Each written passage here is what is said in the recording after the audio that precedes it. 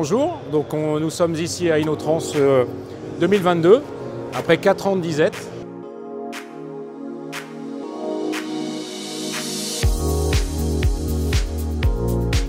Tramobus, on a commencé en 2007. On était focalisé sur la distribution de pièces ferroviaires. Et en 2016, nous avons été rachetés à 100% par le groupe CBM, qui était leader et qui reste leader aujourd'hui européen de la distribution de pièces dans le bus. Donc on a un peu euh, développé nos activités.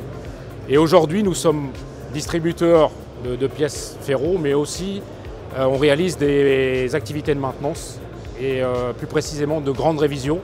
Vous avez derrière moi une photo de la révision des bogies euh, du 10, un tramway aujourd'hui, pour le compte de Transdev à Dublin. Effectivement, il faut toujours se, remettre en question. Donc on a euh, aujourd'hui un partenariat avec la société Stimio sur l'IoT, donc la maintenance prédictive. Donc aujourd'hui, on propose à nos clients une supply chain totale, end-to-end solution, donc de la maintenance prédictive à la livraison des pièces.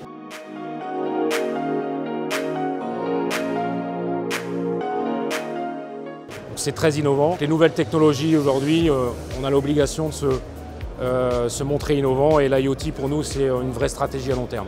Et ce qu'on veut aujourd'hui c'est aussi développer euh, euh, notre activité hors Europe. Donc euh, l'Asie pourquoi pas, on a une filiale aujourd'hui en Australie, euh, on a une filiale au Canada, aux États-Unis. Euh, donc on a, une vraie stratégie euh, d'export et bah, forcément l'international c'est une de nos priorités. Et Innotrans nous permet de rencontrer des, des acteurs hors Europe.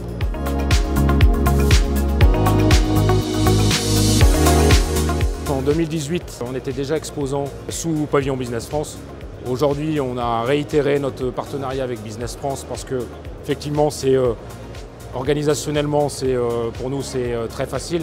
On est quand même une petite structure, un gros salon, donc euh, bah, c'est le networking aussi, Business France. Que le réseau nous, nous apporte énormément, donc on ne s'est même pas posé de questions. On a reconduit notre partenariat avec Business France cette année.